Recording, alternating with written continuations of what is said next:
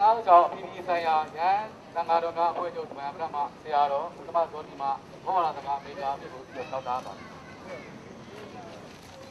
ဒီနေ့ကြားရောက်တဲ့နေရာတော့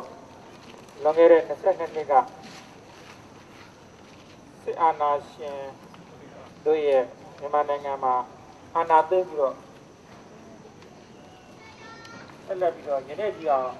သူတို့ပဲမြန်မာနိုင်ငံရဲ့အချုပ်အခြာအာဏာကို ပြည်သူလက်ထက်မထည့်ဘဲနဲ့တစ်ဆက်တည်းဆုတ်ကင်လာကြတာယနေ့22နှစ်မြောက်ဖြစ်သွားတယ်။အဲ့တော့ခုကြောက်ရောက်လာတဲ့ရောက်ရှိနေကြတဲ့မြန်မာနိုင်ငံသားအားလုံးဟာဒီစစ်အာဏာရှင်စနစ်က22နှစ်အတော်အတွင်းမှာမိမိတို့အနေနဲ့ရောမိမိတို့မိသားစုအနေနဲ့ရောမိမိတို့ရဲ့ right တပြေလုံးမိမိတို့နဲ့ဆက်ဆက်ရာနေရာဒေသတွေမှာရောမိမိတို့ရပိုင်ခွင့်တွေဘာတွေဆုံးရှုံးခဲ့ပြီလဲမိမိတို့ရသင့်ရတတ်တဲ့လူအခွင့်အရေးတွေမိမိတို့ရဲ့ မွေးရပါအခွင့်အရေးတွေဘာတွေရခဲ့သလဲအခါပြန်ကြည့်ရအဲ့တော့ပြန်ကြည့်မယ်ဆိုလို့ရှိရင်မိမိတို့ရောက်နေတဲ့နိုင်ငံကိုအသာထားပါအောင်မိမိတို့ရဲ့အိမ်နီးနားချင်းပတ်ဝန်းကျင်နိုင်ငံတွေရဲ့အဆင့်ကိုတောင်မှမိမိတို့ရဲ့နိုင်ငံယနေ့ဆရာနာရှင်လက်ထက်မှာတော့ဒန်းတူရည်တူမိမိတို့အိမ်နီးနားချင်းနိုင်ငံတွေနဲ့အခွင့်အရေးချင်းတောင်တူရဲ့လားဖွံ့ဖြိုးရေးကျန်းမာရေးသူမှုရေးစီးပွားရေးနိုင်ငံရေးအဲ့ဒီအရေးကိစ္စတွေဟာ ယနေ့မိမိတို့ဘာကြောင့်နောက်ကျအောက်ကျနောက်ကျဖြစ်နေရသလဲဆိုရင်ဆရာနာရှင်တွေကြောင့်အဲ့ဒီဆရာနာရှင်တွေလက်ထက်မှာမိမိတို့22နှစ်လုံးလုံးဒီဆီယနာရှင်စနစ်ကဘာတွေလုတ်သွားလဲဆိုတော့မိမိတို့သိရတဲ့အတွက်ကြောင့်လာမယ့်2010ရွေးကောက်ပွဲပြီးသွားလို့ဆီယနာရှင်တွေရဲ့တော့အမြဲတမ်းကြီးစိုးသွားမယ်2010အခြေခံဥပဒေကိုကင်ပြီးတော့ ရှေ့ဆက်သွားမယ်ဆိုရင်ရောဒီစိတ်ပဲယူယူဒီပိုင်းပဲယူအကုန်လုံးပဲယူယူ22နှစ်လုံးလုံးအဖြစ်ပေါ်နေပါရဲ့သားနဲ့မှမိမိတို့ဆက်လက်ထောက်ခံအောင်မယ်ဆိုရင်ဒီလောကကြီးမှာမိမိတို့တော့မိုက်တဲ့လူတွေရှိပါဦးမလားမရှိနိုင်တော့ပါဘူး။ဒါကြောင့်ဘာ policy တွေပဲဘယ်လိုပဲအလှည့်အပြောင်းတွေဘယ်လိုပဲပြည်သူလူထုကိုလှည့်စားလှည့်စားပါစေ။22နှစ်လုံးလုံးသူတို့ကိုမိမိတို့ပြည်သူလူကစက်တက်ပြီးသွားပါပြီ။စက်တက်ပြီးသွားတဲ့ဒီလူတွေပဲဆက်လက်ပြီးတော့ နာမည်ပြောင်းနော်အရေးချုံဆက်လက်ပြီးတော့အုတ်ချုပ်အောင်မယ်ဆိုခဲ့လို့ရှိရင်မိမိတို့နောက်မာဆာလာက26နှစ်နော်နာဝတ္တနာဘာက20နှစ်နှစ်နေ့ကဆို23နှစ်ရောက်တော့မှာပါနော်23နှစ်ကနေမိမိတို့ဒီတိုင်းပဲမိမိတို့ရဲ့အခွင့်အရေးတွေကိုရပိုင်ခွင့်တွေကို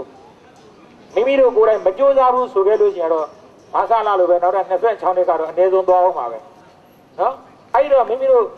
ရမဲ့ကိုယ်ပိုင်အခွင့်အရေးတွေကို 2010ပြီးရင်ဘာများဖြစ်လာပါလေအောင်မလဲဆိုတော့မရေရာမသေးကြတဲ့မျောလင်းချက်မျိုးကိုစောင့်နေမယ့်အစားမိမိတို့ကိုမိမိတို့ရဲ့ကံကြမ္မာကိုဖန်တီးပေးနိုင်မဲ့ပြည်သူအစိုးရတရားပေါ်ပေါက်လာအောင်2010ရွေးကောက်ပွဲဆိုတာမိမိတို့ကမလိုလားအပ်တဲ့ရွေးကောက်ပွဲ2008ဖွဲ့စည်းဖို့ကိုအခြေခံပြီးတော့ဂုတ်ခွာစီးပြီးတော့နော်မိမိတို့ကိုကြုံပြုတ်သွားမဲ့2010ရွေးကောက်ပွဲကိုမိမိတို့မျှော်လင့်မနေတော့ဘဲနဲ့မိမိတို့ယနေ့ 2010ရဲ့နော်2010ပြီးလို့ရှိရင်ဘာဖြစ်လာမလဲဆိုတော့စောင့်ကြည့်မှုတွေကိုမလုပ်ပါနဲ့မိမိတို့အချင်းချင်းနော်အနည်းဆုံးဂျပန်နိုင်ငံမှာရောက်နေတဲ့မြန်မာနိုင်ငံသား1000ရှိရင်အဲ့ဒီ1000ကတယောက်ကို9ယောက်နှုံးနဲ့မိမိတို့ရဲ့မိသားစုတွေကိုပြန်ပြီးတော့2010ရွေးကောက်ပွဲကိုဘွိုင်းကောက်ကိုသာထား2010ရွေးကောက်ပွဲကိုတိုက်ဖြတ်မယ်ဆိုတဲ့ရွေးချယ်မျိုးနဲ့မဲမပေးမဲမဲမပေးပါနဲ့ဆိုတာကတိုက်ဖြတ်လို့မရရင်တော့ မဲမပေးတဲ့အစီအစဉ်ကိုဒုတိယဆက်ကျင်တော့ရမှာမဲမပေးပါနဲ့ဆိုတဲ့ဥစ္စာကတိုက်ဖြတ်လို့မရလို့ရှိရင်မဲမပေးပဲနေရမှာအကယ်၍မဲပေးတဲ့အဆင့်2010နော်နိုဝင်ဘာလ6လမရောက်ခင်အဲ့ဒီရွေးကောက်ပွဲကိုတနည်းနည်းနဲ့လူလူတိုက်ပွဲတွေနဲ့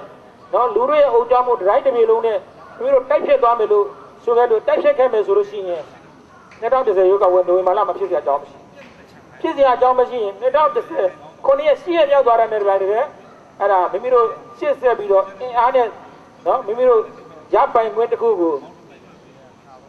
မိမိတို့ကြိုက်တဲ့ဆိုရတစ်ခုကိုမိမိတို့ကိုယ်တိုင်ဖော်ထုတ်နိုင်တယ်ဆိုတာကိုမိမိတို့ယုံကြည်ပြီးတော့2010ရွေးကောက်ပွဲဒိုဝင်မာလာတိုင်အောင်အဆောက်မနေတော့ပဲနဲ့လူလူတိုက်ပွဲနဲ့မိမိတို့2010ရွေးကောက်ပွဲကိုဒီမျိုးစုံနဲ့ရဟန်းပြည်သူရဟန်းရှင်တို့ចောင်းသားပြည်သူအားလုံးက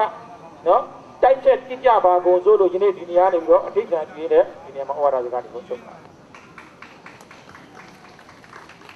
ကဲကျေးဇူးတင်ပါတယ်အခုလိုတန်းကနေစောကတပါဘူးဆောင်ပြီးတော့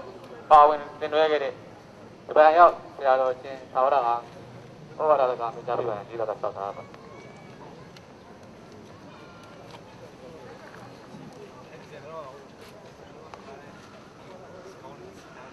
ကြောက်လာကြတဲ့ဘာသာရေးကောင်းဆောင်တည်တည်မှ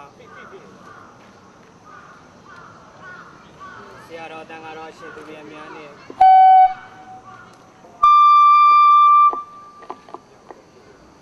တိုင်းတိုင်း ဒီကုန်းတော်မှာအားလုံးကိုဦးစင်ရောက်တုံးခိုက်ပါမင်္ဂလာပါလို့နှုတ်ခွန်းဆက်တာပါတယ်စကားပြောခွင့်ရတဲ့အတွက်ကြောင့်မလို့လဲဦးစင်အမတမဝမ်းသာပါတယ်ဦးစင်တို့နိုင်ငံမှာစစ်အာဏာရှင်အုပ်ချုပ်ခဲ့တာဆိုရင်ဒီနေ့22နှစ်မြောက်ခဲ့ပါပြီဦးဇင်းတို့တော်လန်နေတာဘယ်တော့မှအောင်မြင်သေးတာမဟုတ်တဲ့အတွက်ကြောင့်မလို့ဒီနေ့ဦးဇင်းတို့ရဲ့တော်လန်ရေးကိုဆက်ဖို့ဆိုရင်တော့အားလုံးမှာတာဝန်ရှိပါတယ်စစ်အာဏာရှင်စနစ်ပြုတ်ကျရေးသားလေဦးဇင်းတို့နိုင်ငံရဲ့တစ်ခုတည်းသောတစ်ပေါက်ဖြစ်တဲ့အတွက်ကြောင့်မလို့ဦးဇင်းတို့အားလုံးမှာတာဝန်ရှိပါတယ် ဒီနေ့ဒီချိန်ခါမှာဦးဇင်းတို့နိုင်ငံထဲမှာဒေါအောင်ဆန်းစုကြည်ပေါင်းရင်တိုင်းရင်းသားအားလုံးကိုထောင်ထဲမှာထည့်ပြီးတော့ဗဇက်ပိတ်ပြီးတော့ဦးဇင်းတို့2008ခြေခံဥပဒေဆိုတဲ့ရွေးကောက်ပွဲကိုဒီ2010ရွေးကောက်ပွဲကိုကျင်းပတော့မှာဖြစ်တဲ့အတွက်ကြောင့်မလို့ဒီရွေးကောက်ပွဲနဲ့ပတ်သက်ပြီးတော့ပြည်ပမှာရောက်နေတဲ့ဦးဇင်းတို့တိုင်းရင်းသားအားလုံးနေနဲ့နာဘစစ်ဆိုးရရဲ့မတရားမှုတဲ့လောက်ရက်တွေကိုဖော်ထုတ်ဖို့လိုပါတယ်ဒီတက်ပို့ပြီးတော့ဦးဇင်းတို့အလုံးလုံးပုံလဲလိုပါတယ်ဒီနေ့ဒီချိန်ကမှနာဘစစ်ဆိုးရမတရားဘူး မတရားတဲ့အတွက်ကြောင့်မလို့ကျုပ်တို့ကပြည်သူဖြစ်တဲ့အတွက်ကြောင့်မလို့ကျုပ်တို့မှာတောင်းဆိုပိုင်ခွင့်ရှိတယ်သူတို့ရဲ့လှုပ်ဆောင်ချက်တွေကိုကျုပ်တို့တရားကျုပ်တို့အနေနဲ့တရားသည်ဖြစ်စေမတရားသည်ဖြစ်စေရတဲ့အနေနဲ့ဒီနေ့ဒီချိန်ကမှဆန့်ကျင်ရမှာပဲအဲ့ဒီလိုဆန့်ကျင်ဖို့အတွက်ဒီမှာရောက်နေတဲ့ပြည်သူတို့အားလုံးနဲ့သက်ဆိုင်တယ်လို့ပြည်တွင်းမှာရှိနေတဲ့မိမိတို့ရဲ့ညီကောင်မောင်နှမတွေကိုလည်းပဲနာဘစစ်ဆိုးရရဲ့ရွေးကောက်ပွဲကမတရားပါဘူးဒီရွေးကောက်ပွဲကျင်းပလို့ပြည်သူလူထုအတွက်အကျိုးမရှိပါဘူးတိုင်းပြည်အတွက်အကျိုးမရှိပါဘူးဆိုပြီးတော့ရှင်းပြဖို့တော့လိုပါတယ် ဒီနေ့တယောက်ချင်းစီဦးဇင်းတို့စီးအောင်မဲ့ဆိုရင်အောင်ပဲ